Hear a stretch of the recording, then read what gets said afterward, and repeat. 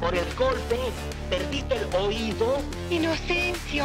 Como yo la quiero debe darse todo. Cree que estando sordo yo ya no lo quiero. Pero así como estoy. Usted sabe dónde está Inocencio, ¿verdad? Solo por Mexicanal.